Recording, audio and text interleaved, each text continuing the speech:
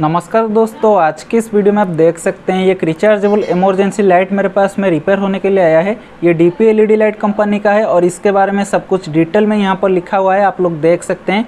ये लाइट बिल्कुल भी नहीं जलता है। अभी मैंने इसका स्विच को ऑन करके दिखा देता हूँ। देखिए स्विच अभी ऑफ़ है। ये स्विच को दोनों तरफ़ घुमाने से ये स्विच ऑन होता है। अभी मैंने ऊपर की तरफ़ घुमा देता हूँ। देखिए ये यहाँ पर लाइट बिल्कुल भी नहीं जल रहा है और नीचे की तरफ़ ऑन करता हूँ, देखिए लाइट बिल्कुल भी नहीं जल रहा है। तो ये पूरी तरह से बंद पड़ा हुआ है और इसको चार्ज करके देखते हैं, ये चार्ज हो रहा है या फिर नहीं हो रहा है। यहाँ पर देख सकते हैं 220 वोल्ट एसी का, इसका जो चार्जिंग का कोड है, इसको लगाने से ये हमारा चार्ज होता है और यहाँ पर 5 वोल्ट डीसी सप्लाई का पिन को लगाने से भी ये हमारा चार्ज होता है। सबसे पहले यहाँ पर 220 वोल्ट एसी सप्लाई का कोड मैंने लगा देता हूँ।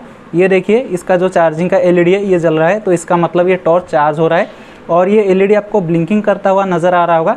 असल में ये ब्लिंकिंग नहीं कर रहा है। ये जो मोबाइल का कैमरा है, इसमें आपको ब्लिंकिंग करता हुआ दिखाई दे रहा है। लेकिन ये चार्ज सही से हो रहा है।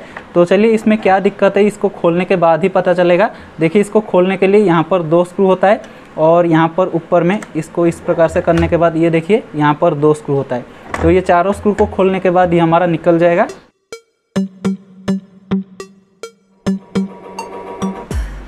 तो देखिए, यहाँ पर मैंने चारों स्क्रू को खोल लिया हूँ और इसको कुछ इस तरीके से निकाल लेते हैं। ये देख सकते हैं, ये हमारा निकल चुका है। और यहाँ पर देखिए, हमारा दो बैटरी लगा हुआ है। सबसे पहले ये जो दोनों बैटरी हैं, इनका वोल्टेज को चेक करेंगे। ये बैटरी में वोल्टेज है या फिर नहीं है। अगर बैटरी ख़राब होगा तो भी हमारा ये लाइट नहीं जल रहा होगा।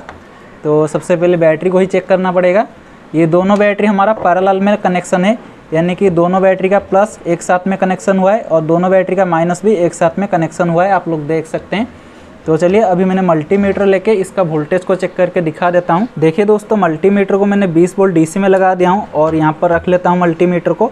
और सबसे पहले इस बैटरी का वोल्टेज को चेक कर लेते हैं। दोनों बैटरी का वोल्टेज एक साथ में चेक हो जाएगा क्योंकि दोनों बैटरी हमारा पैरालाल में कनेक्शन है।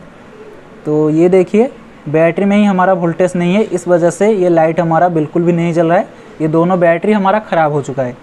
तो यहाँ पर आप लोग देख सकते हैं वोल्टेज 0.5251 ऐसे वोल्टेज दिखा रहा है। अगर दोस्तों ये बैटरी अच्छा होता तो यहाँ पर लगभग साढ़े तीन वोल्ट से चार वोल्ट दिखाया होता है ये मल्टीमीटर में।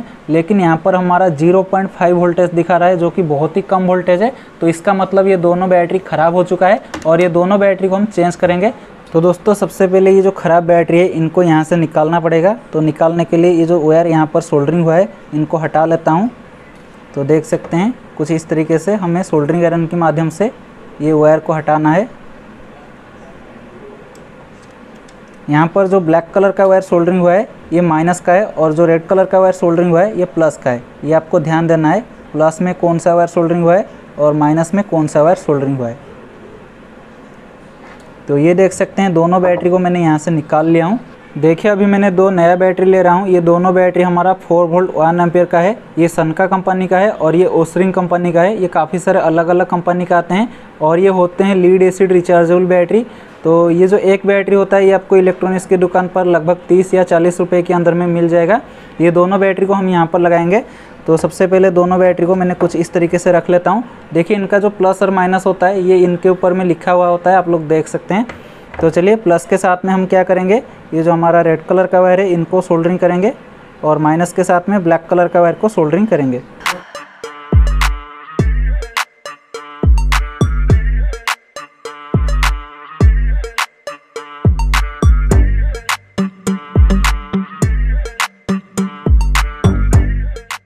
तो देख सकते हैं यहाँ पर हमारा ये ब्लैक कलर का जो माइनस वाला तार है, इसको भी हमने सोल्डरिंग कर दिए हैं।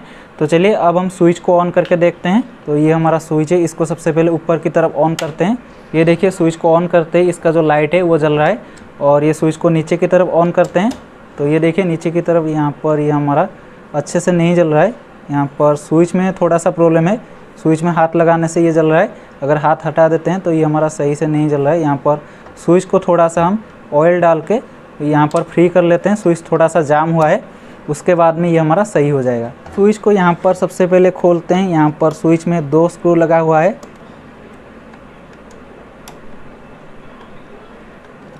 तो ये दोनों स्क्रू को खोलने के बाद ये स्विच हमारा आराम से निकल जाएगा। ये देख सकते हैं। और इसका जो ऊपर का ये प्लास्टिक है, इसको निकाल देते हैं। और यहाँ पर थोड़ा सा ऑयल डाल देते हैं। आप चाहो तो यहाँ पर केरोसिन भी डाल सकते हो। अभी दोस्तों ये स्विच हमारा मक्खन की तरह चलेगा। ये देख सकते हैं, बहुत ही बढ़िया से यहाँ पर फ़ंक्शन कर रहा है। ये देखिए, अभी कोई दिक्कत नहीं आने वाला है। और इसका जो नीचे का सोल्डरिंग है, उसको भी चेक कर लेना है। अगर सोल्डरिंग हटा हुआ होगा तो ये स्विच ऑन होगा, लेकिन हमारा जो लाइट होगा, वो हमारा अच्छे से नहीं चलेगा तो चलिए, अब हम इसको दोबारा फिटिंग कर लेते हैं।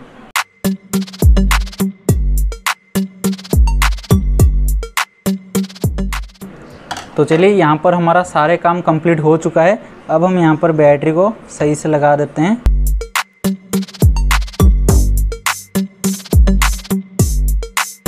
तो ये देख सकते हैं, हमारा बैटरी सही से लग चुके हैं और इसको कुछ इस तरीके से यहाँ पर लगा देते हैं।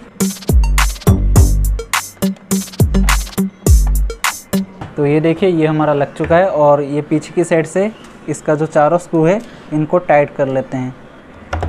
तो देख सकते हैं दोस्तों, अभी मैंने यहाँ पर चारों स्क्रू को अच्छे से टाइटली कस लिया हूँ और ये हमारा अच्छे से फिटिंग हो चुका है। अभी हम ये स्विच को ऑन करते हैं। ये देखिए, लाइट हमारा सही से जल रहा है और ये नीचे की तरफ़ स्विच को ऑन कर लेता हूँ। तो यहाँ पर भी हमारा लाइट सही से जल रहा है। तो इस तरीके से ये जो हमारा रिचार्जेबल इमरजेंसी लाइट होते हैं, इनको आप रिपेयर कर सकते हो। अगर उनका जो बैटरी होता है, वो ख़राब हो जाता है। तो मैं आशा करता हूँ कि ये वीडियो आपको पसंद आया होगा। अगर ये वीडियो पसंद आई है तो इस वीडियो को एक लाइक कर दीजिए और इस प्रकार का वीडियो देखने के लिए हमारे इस चैनल को सब्सक्राइब भी कर लीजिए।